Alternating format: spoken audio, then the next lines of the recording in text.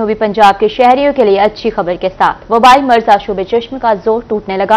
बावलपुर में आशोब चश्म इन्फेक्शन में मुतासरीन में कमी हो गई। अस्पतालों की ओपीडी में मरीजों का रश कम हो गया। फोकल पर्सन आशोब चश्म विक्टोरिया अस्पताल, डॉक्टर सिव का इस हवाले से कहना है कि मरीजों की तादाद कम होती जा रही है। जनूबी पंजाब के शहरियों के लिए अच्छी खबर है।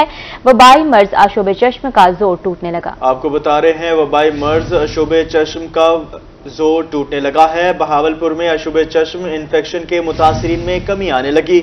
अस्पतालों की ओपीडी में मरीजों का रश कम हो गया। फोकल पर्सन, अशुभ चश्म, विक्टोरिया अस्पताल। डॉक्टर जेब का इस हवाले से क्या कहना है? जानेंगे ताहिर जोया से। ताहिर, बताइएगा। बिल्कुल जी, आई फ्लू की बात करें तो बहावलपुर से अच्छी खबर यह है कि जो ट्रेंड है, वो कम होता नज़र आ रहा है। लेकिन मरीज़ जो हैं, वो आज भी मुसलसल जो है ओपीडी में आ रहे हैं और जो आई फ्लू की दवाई है और चेकअप जो है, वो करवा रहे हैं। हमारे साथ डॉक्टर जेब साहब मौजूद हैं, जो कि फोकल पर्सन भी हैं। सर, क्या कहते हैं, आज का ट्रेंड कैसा है और पिछले दिनों की नस्बत क्या समझ रहे हैं कि कमी आई है बीमारी में? जी, बिल्कुल बीमारी में बहुत कमी आ चुकी हुई है। लोग जो हैं, वो अब ओपीडी की तरफ़ कम आ रहे हैं। हर रोज almost three two four hundred patient जो है वो डाउन की तरफ़ ट्रेंड जा रहा है। बस मैं यही कहना चाहूँगा कि आपके घर में या आपके जानने वालों को किसी को फ्लू है एडिनो वायरल कंजंक्टिवाइटिस हमारी ज़बान में इसको कहते हैं आशुब चशम आम जबान में तो उससे हाथ मत मिलाएँ। और वैसे भी कुछ दिनों के लिए हाथ मिलाना लोगों से बंद कर दें।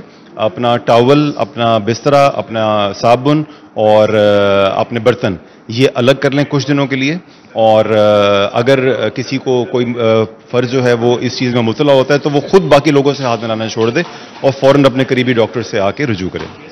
क्या आप समझते हैं कि ये अवेयरनेस की वजह से कम हुआ है रशिया के लोग जो है एक हर्ड इम्यूनिटी क्रिएट हो गई है? बेसिकली uh, इस वायरस की जो लाइफ साइकिल है वो टू वीक्स का होता है। टू वीक्स के बाद ये वैसे ही डाउनग्रेड होना शुरू हो जाता है। लेकिन इस दफ़ा जो वायरस आया था इसका साइकिल था वन वीक का।